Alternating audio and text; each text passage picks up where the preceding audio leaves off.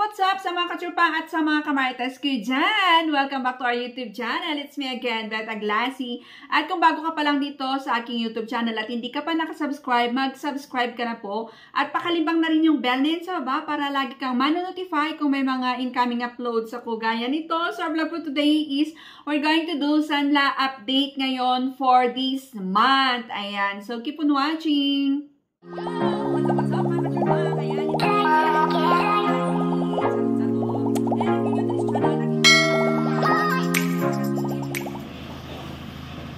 So, andito ako ulit kay Villarica. Ayan. Abangan nyo ang aking salate. Villarica.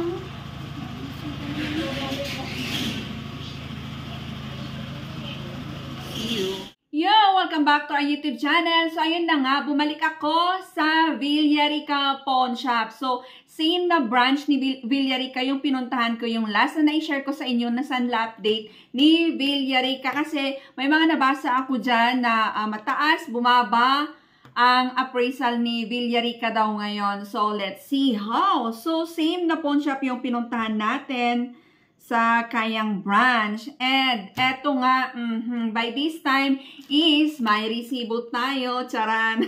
nagipit po ako, talagang nagipit po ako at napasanla talaga. So yun po, yung kagandahan talaga kung may mga investment ka sa mga jewelries na nabili mo pa noon para makita mo yung uh, jewelries mo na yung investment mo ngayon is uh, tumaas na yung uh, value niya. So, yung makaka-relate lang yung mga sunlap date ko na sinishare ko sa inyo is yung mga nag-invest or naka-invest or nakabili na 10 years ago, 5 years ago, 20 years ago ng mga jewelries, hindi yung bumibili pa lang ngayon ha, kasi yung iba is nabasa ko dyan, nagko-complain sila, binili nila yung alas nila ng per gram, let's say, per gram ng 18 carats is uh, ah, 3,000 plus, and then dadalhin nila sa pawn shop is, uh, di ba, hindi lumabas. Ayun, expected nila kasi, na binili nila yung alas nila ng 3.3, expected nila na pagdadalhin nila sa pawn shop is 3.5 ang kuha daw doon. Hindi po ganun, okay?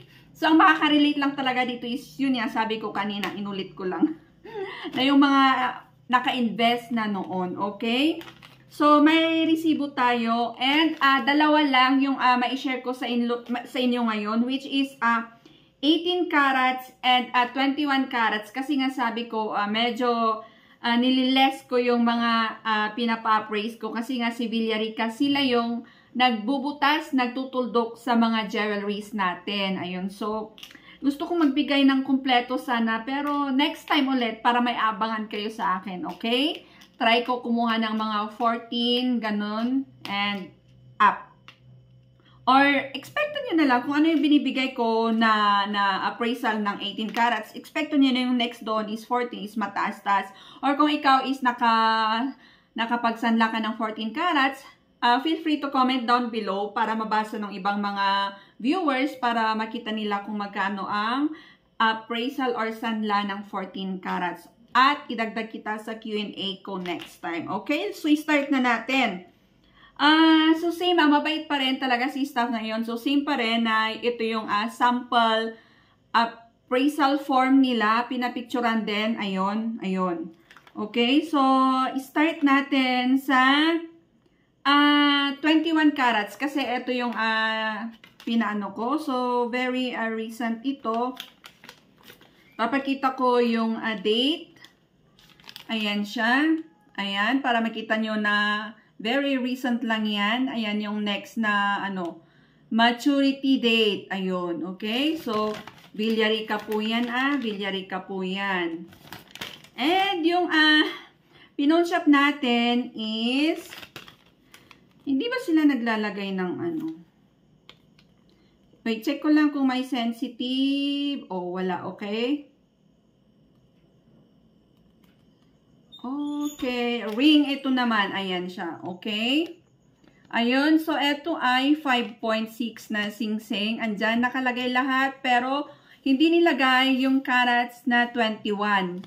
And yung uh, sanla nito is 20,500. O, di ba?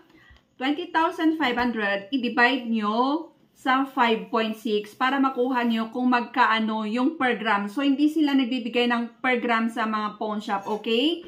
Ako lang po ang uh, nagbibigay sa inyo. Ayan, ang dali-dali lang po, i-calculate nyo lang. Ayan, itong uh, 20,500, i-divide nyo lang yung uh, weight ng alas nyo na 5.6 is ang lumalabas na per gram dito.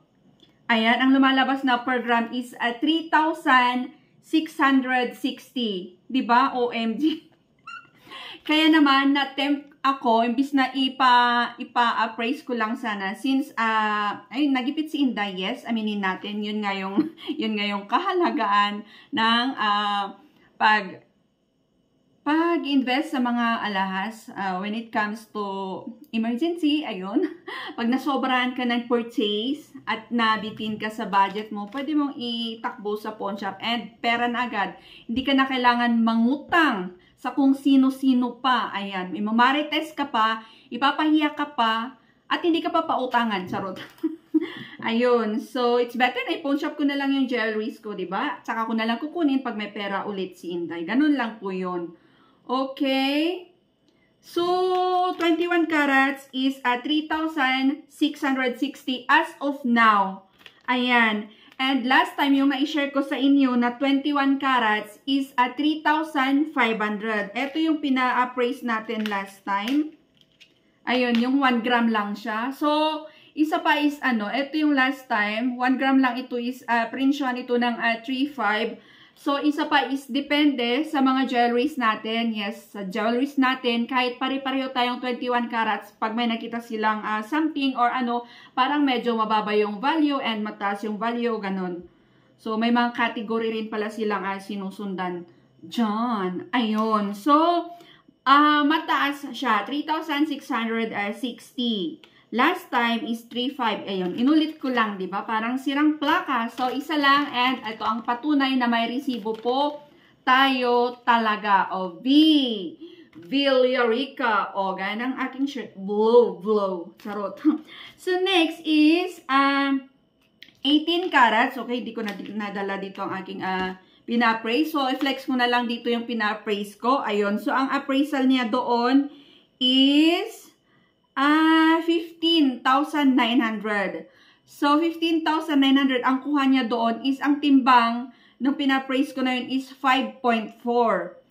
5.4, pero yun is overused na siya na 18 carats. So, pag i-divide natin, yung 15,900 divided by 5.4, ang lumalabas na per gram is 2,944. O, ba? Bumaba siya compare last time na yung na-share ko sa inyo ng 18 carats last time is 3,200. Ano?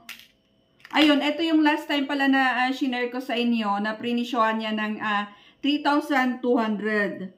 And now is 2,944 ang lumalabas na per gram. Kasi yun is, uh, na-check ko talaga is super duper ang dami ng scratches and very common yung ganong design. Yun pa yung napansin ko. So, Depende sa mga jewelries natin talaga. Pero yung uh, ah, 21 carats is OMG. Ang taas is 21 carats yun na, 21 carats. Samantalang last time yung uh, pina-appraise natin na 24, ayun, so I'm not sure kung 24 or 22 yung bigay niya dito na ang appraisal lang na lumalabas is 3,629, di po ba? And now is 21 carats is at 3,000 660. Ayun. So, bali dalawa lang po yung uh, dalawang klase, dalawang carats, 18 carats and uh, ah, 21 carats yung asanla update natin ngayon for a Villarica. Kasi nga po, ayun, uulitin ko lang.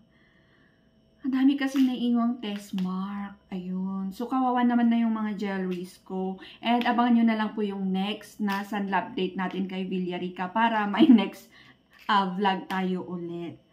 Ayun. Kasi sila talaga yun ang iiwan ng uh, tuldok.